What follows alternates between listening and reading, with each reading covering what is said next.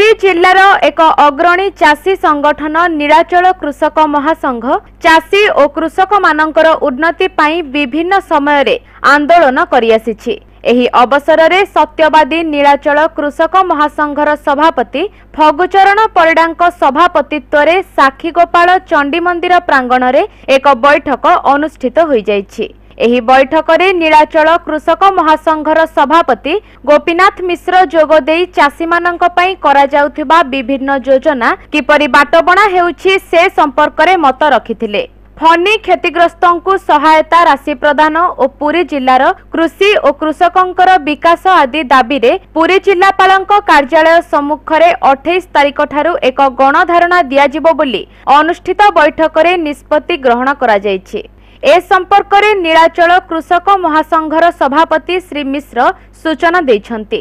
ଏହି ବୈଠକରେ ନିରଞ୍ଜନ ମହାପାତ୍ର ଋଷିକେଶ ମହାପାତ୍ର ସୁଦର୍ଶନ ପ୍ରଧାନ ପ୍ରତାପ କୁମାର ପାଇକରାୟ ଅନନ୍ତ ମହାପାତ୍ର ରାଜକିଶୋର ସାହୁ ନଗେନ ବରାଳ ସର୍ବେଶ୍ୱର ଜେନା ରାମଚନ୍ଦ୍ର ସ୍ୱାଇଁ ବୁଲା ପରିଡ଼ା କୈଳାସ ଚନ୍ଦ୍ର ରାଉତ ବୁଦ୍ଧିନାଥ ମଲ୍ଲିକ ଓ ଲିଙ୍ଗରାଜ ବର ପ୍ରମୁଖ ଯୋଗ ଦେଇ ନିଜ ନିଜର ମତ ରଖିଥିଲେ।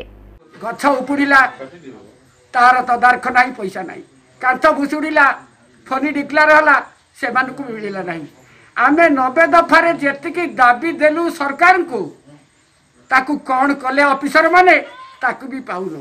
ଏ ଡେଲ୍ଟାରେ ଜଣେ ଇଞ୍ଜିନିୟର ଅଛନ୍ତି ବୁଧନ ଶୁକ୍ଳର ଶାଖା ମାଇନର ଠାରୁ ମୁଖ୍ୟ ମାଇନର ପର୍ଯ୍ୟନ୍ତ ବନ୍ଧ ଖେଳେଇ ଜନି ଲଗେଇ ଦେଲେଣି ଏ ଏଡୁଅ ଶୋଇଛନ୍ତି।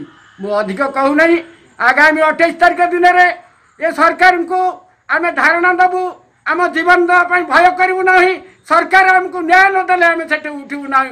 ଉଣେଇଶହ ପଞ୍ଚାଅଶୀ ମସିହା ଠାରୁ ନୀଳାଚଳ କୃଷକ ମହାସଂଘ ଚାଷୀଙ୍କ କଲ୍ୟାଣ ପାଇଁ ଅହରହ କାମ କରିଆସୁଛି। ଏହାର ଏରିଆ ଅଫ୍ ଅପରେସନ୍ ପୁରୀ ଜିଲ୍ଲା।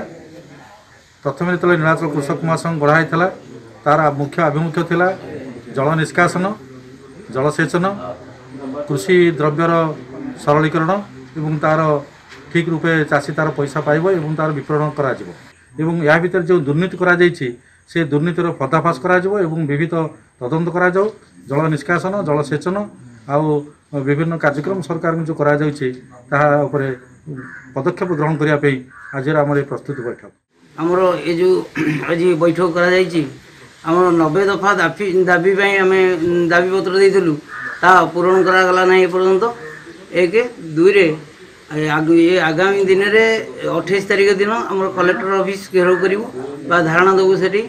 ଏ କୃଷକମାନଙ୍କ ପାଇଁ ବହୁ ଅନିୟମିତତା କରାଯାଇଛି।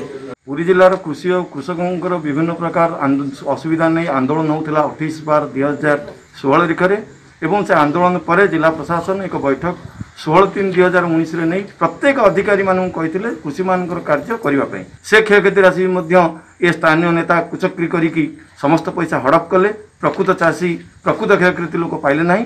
ତାର ସମସ୍ତ ପ୍ରତିବାଦରେ ଆସନ୍ତା ଅଠେଇଶ ତାରିଖ ଦିନ ଜିଲ୍ଲାପାଳଙ୍କ ଅଫିସ ଆଗରେ ଏକ ଅନଶନ ହେବ ବିକ୍ଷୋଭ ହେବ ଏବଂ ମାନ୍ୟବର ମୁଖ୍ୟମନ୍ତ୍ରୀଙ୍କ ଉଦ୍ଦେଶ୍ୟରେ ଏକ ଦାବିପତ୍ର ପ୍ରଦାନ କରାଯିବ। ସାକ୍ଷୀଗୋପାଳରୁ ଧୀରେନ୍ଦ୍ର ସେନାପତିଙ୍କ ରିପୋର୍ଟ।